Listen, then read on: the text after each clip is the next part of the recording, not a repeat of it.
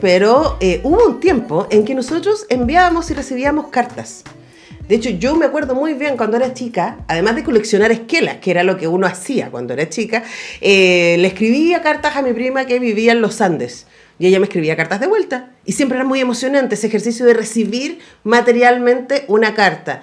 Eh, hoy día, claro, de hecho, ni siquiera mandamos muchas cartas por correo electrónico. En general los comunicamos eh, por mensajes de texto y volver al ejercicio de la escritura, eh, de las cartas, de esa capacidad de comunicación a través de lo escrito, es de lo que va la obra Correo, que se está presentando hasta el 13 de octubre en, eh, la galería del Centro Cultural Corpartes en CA660 y para conversar al respecto estamos al otro lado del teléfono con la directora de esta obra, Paula Aros. Paula, ¿cómo estás? Hola, buen día, bien, gracias por la invitación. Sabemos que estás un poquito enferma, así que te mandamos mucha luz, mucho abrazo. Créeme que acá el equipo lo entiende perfectamente. Hemos estado bastante paliadas en la última semana. Así que, así que nada, solidaridad, compañera, ¿qué vamos a decir? Fin de invierno. Sí, ha, estado difícil. Bueno, eh, hablemos un poco de este ejercicio, ¿no? Porque eh, Correo viene llegando de participar en el Festival Iberoamericano de Artes Escénicas de Brasil eh, y ha llamado la atención, sin duda, este énfasis, esta mirada que ustedes están haciendo, que es un ejercicio teatral, pero al mismo tiempo es un ejercicio comunitario. Expliquemos un poco de dónde viene Correo y cómo, cómo la armaste. Bueno, Correo es una obra que se estrenó en el año 2016. Tiene ocho años de existencia esta obra y eh, no la habíamos dado durante tres años. O sea, nuestra última función fue el 2021 y ahora estamos volviendo. Eh, y bueno, esta obra comienza con un afán mío y con un amor mío por las cartas. Yo como directora hago proyectos que son basados en preguntas de investigación. Es decir, yo no monto obras que están escritas desde antes, sino que planteo una pregunta de investigación y a propósito de esa pregunta se hace todo un proceso creativo en el cual se escribe la obra. Entonces, en este caso, la pregunta es por el género epistolar, la pregunta es por qué se ha dejado de lado, la pregunta es por el valor que tiene. Y em, después de este proceso creativo terminamos en esta obra que es, como tú dices, una obra de participación con el público, es una obra que te muestra la ficción de una conferencia, es como que tú asistes a una conferencia abierta de un grupo de personas que se llaman el AMT, que es el Archivo Mundial de Misivas de Chile, que son cuatro personas que se juntan que son fanáticos de las cartas, en el fondo se juntan a analizar cartas, a leer cartas, a recopilar y abren esta sesión, esta conferencia abierta al público. Esa es la ficción que nosotros armamos para presentar esta obra. ¿Y qué es lo que sucede? Sucede que eh, estos cuatro personajes te van mostrando distintas cartas, que son las cartas que eh, quedaron seleccionadas después de todo el proceso creativo que hicimos, porque yo hice una investigación en donde hice una recopilación de, yo te diría que fueron más de 100 cartas de distintas épocas, desde la antigüedad, antes de Cristo, hasta la actualidad, y pasando por distintas categorías, tipo cartas de amor, cartas de amistad, cartas de política, cartas de guerra, cartas de suicidio, cartas anónimas, cartas... Entonces, a partir de esa recopilación quedaron seleccionadas estas cartas que tú ves en la obra bajo la premisa de que la carta puede cambiar el devenir de la historia. Es decir, es un objeto escrito que dependiendo de si llega o no llega, va a escribir la historia como la conocemos, ¿no? Entonces, como que ese es el valor también que le otorgamos a la carta. Recordar que eh, Correo tiene función hoy, el sábado 12 y el domingo 13 son las últimas funciones. Y quiero volver respecto a esa investigación, eh, Paula, porque me parece súper importante eh, contar cómo escogiste, porque de esta gran diversidad que tú nos das, esta, esta performance, ¿no? Este que vemos, estos especialistas en eh, misiva, ¿cierto? Y en literatura epistolar, están haciendo este análisis y hay nombres muy famosos Y hay momentos de la historia que son muy famosos y que están definidos, ¿cierto?, por estas cartas. Y hay otros también momentos que son muy íntimos, ¿cierto? Incluso, como tú dices, cartas anónimas, que también son parte de la obra. Así que cuéntanos respecto a esa curatoría y cómo quisiste instalar ahí una narrativa que el público pudiera seguir. Claro, mira, eh, tal como tú dices, hay cartas de, personajes súper emblemáticos como son Frida Kahlo y Diego Rivera, como son Albert Einstein, eh, Fidel Castro. Eh, también están exponentes de la literatura chilena como Vicente Huidobro y Gabriela Mistral. y también hay estas cartas anónimas íntimas que tienen que ver también con la, con la biografía de los actores y las actrices, ¿no? ya que en la investigación también nos preguntamos por nuestra propia relación con las cartas. Em, a ver, ¿qué hacemos? Hacemos que eh, el, el, el, AMT, este grupo, va, lee la carta y después de leer la carta hace un análisis de la carta. Y esto todo, por supuesto, con elementos teatrales, con iluminación, con música, con atmósfera, que otorgan eh, la poesía, ¿cierto?, escénica para que el público pueda ir siguiendo la historia. Ahora, durante la, durante la, obra se eh, le pide, se le invita más que se le pide al público a participar de ejercicios de escritura. Se escribe un cadáver exquisito, que es un ejercicio en donde cada persona escribe una frase y después se juntan todas esas frases y se, se, se, lee por completo el texto y en este caso se le escribe una carta ah, de petición al presidente en este caso nuestro presidente de Chile, de ahora, actual. Como la obra tiene tanto tiempo, hemos, le, escribimos cartas a Piñera, a Bachelet y ahora a Boris. Como la historia política de las cartas ahí en los últimos años. Eh, y cuando nos hemos ido al extranjero, hacemos, por supuesto, que todo esto asociado al lugar donde estamos. Eh, también el momento más crucial, y yo que te diría que el que ha tenido más repercusión, de la participación del público es la escritura a la carta al futuro.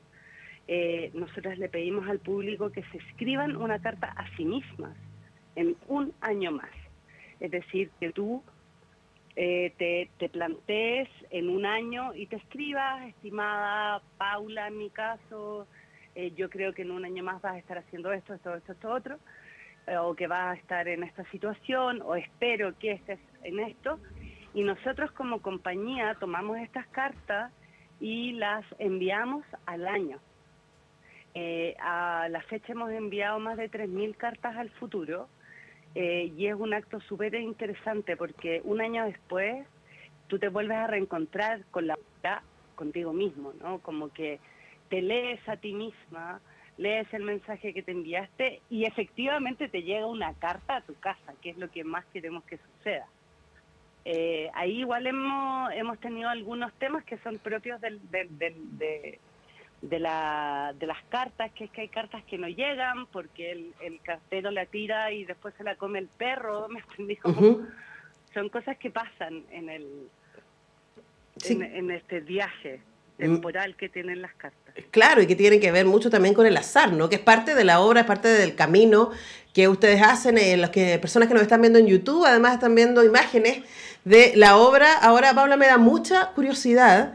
Eh, eh, a propósito de la, cantidad de tiempo que lleva la obra y de este ejercicio que tiene que ver con la memoria, pero también tiene que ver con la contingencia, ¿qué sienten que ustedes han aprendido, no? Eh, y empiezo más allá de las encuestas, ¿qué es lo que la gente le pide, no? ¿Qué le pidió a Bachelet, a Piñera, a Boric y, qué tipo de peticiones o qué tipo de sueños los chilenos y chilenas seguimos tratando de manifestar a través de esas cartas? ¿Qué, qué sientes tú que ha ido quedando? O sea, específicamente de la carta al presidente. Mm, también. O de, sí. O sea, con la carta al presidente es súper potente lo que tú decís, porque yo siento que en ese minuto estamos como en una especie de etnografía política del momento, ¿cachai? Porque eh, como que la gente habla de, lo que está pasando, más allá de que si estén a favor o no del gobierno. ¿Me entendí? Eh, también ocurren cosas muy bonitas, donde tuve en la función de la semana pasada, eh, los niños del, escolares pedían cosas como, qué sé yo, por favor, darle un sueldo a mi abuela, ¿me entendís? Como para que se pueda quedar en la casa o o, o regálame una Play, una Play 5, como cosa, o eh, que el valor del completo se quede en 500 pesos, ¿cachai? Como cosas divertidas también, ¿no? Eh, a ver, yo creo que ha sido, ha sido un camino, porque cuando empezamos a hacer la obra también yo ya estábamos con estas comunicaciones, el WhatsApp, ¿cierto? Los emoticones, qué sé yo, el 2016, mucho menos que ahora. Pero yo siempre sabía que yo no quería hablar de la virtualidad, yo quería hablar de las cartas y que la virtualidad iba a llegar por sí sola al, a, la, a, la, reflexión del espectador, ¿me entendí? Pero ya ahora, en este momento, fue como mucho más eh, tentador el uso de, de, sobre todo en el tema del chat GPT y la inteligencia artificial. Entonces, por primera vez, estamos haciéndolo y le estamos pidiendo en función, en, en, durante la obra de la inteligencia artificial, que escriba una carta. Ya, también. Que fue una carta que nunca se escribió, que nosotras tenemos desde siempre en, en la dramaturgia, que es la carta que eh, le escribe Fray Lorenzo a Julieta, para que Julieta, eh, perdón, a Romeo, para que Romeo, en esto todo esto es la ficción de Romeo y Julieta de Shakespeare, claro. para que Romeo sepa que Julieta no está, no muerta. está muerta. Claro. Ya, esa carta no llegó. Exacto.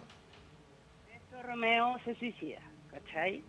Eh, y esa carta tampoco está en la obra, o sea, nosotras revisamos la obra y la obra no, en la obra no está escrita la carta. Entonces nosotros planteamos como tesis que esa carta tiene que escribirse.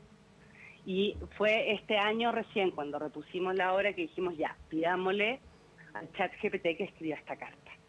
Y es, es interesante, lo hacemos, lo hacemos en vivo, lo hacemos ahí frente al público y el público eh, es un momento entretenido en que, en que entienden el ejercicio que estamos haciendo, ¿me entendís? Como que también la obra se va revisando en la medida en que van pasando los años, porque o en el contexto en que estamos, o sea, la hicimos en la hicimos en pandemia, la hicimos en el estallido, durante el estallido, y era una obra que habla de los contextos, ¿me entendí? Entonces Sí. era imposible no, no nombrar en lo que estamos. Y eso es súper entretenido de la obra también. Conversamos con Paula Arao, directora de Correo, que está en, eh, la galería de Corpartes, que está ahí en el Centro Cultural CA 660, Rosario Norte en 660, eh, y que ha tenido seis funciones, que eran las tres últimas en esta temporada, hoy, miércoles 9, sábado, domingo y domingo 13. Y para cerrar, Paula, te quería preguntar por una actividad que se va a desarrollar el sábado 12, asociada a la obra que es la experiencia formativa Taller de Género Epistolar. Cuéntanos al respecto. Sí. Bueno, este es un taller de género epistolar dirigido a todo público, puede ir cualquier persona. Eh, es un taller que yo he venido desarrollando desde que empezó el proyecto, el 2016, he hecho como 30 versiones ya. ¿Qué vamos a hacer? Vamos a conocer, eh, por un lado, vamos a conocer la historia del género epistolar, vamos a, conocer como desde la antigüedad eh, hasta ahora. Vamos a conocer cuáles son los elementos fundamentales de una carta, que tiene que tener una carta, y cuáles son las características que durante el proceso creativo de la obra eh, nosotros fuimos eh, observando que tenía un, material epistolar. Y después de conocer esto y de ver referentes y todo, vamos a hacer ejercicios de escritura de cartas entre los asistentes al taller. Y una de esas cartas la vamos a elegir entre todos los asistentes que estemos ahí para que sea leída durante la función del sábado en la noche. Así que una experiencia bien bonita que invito de todas maneras a, poder vivir el sábado.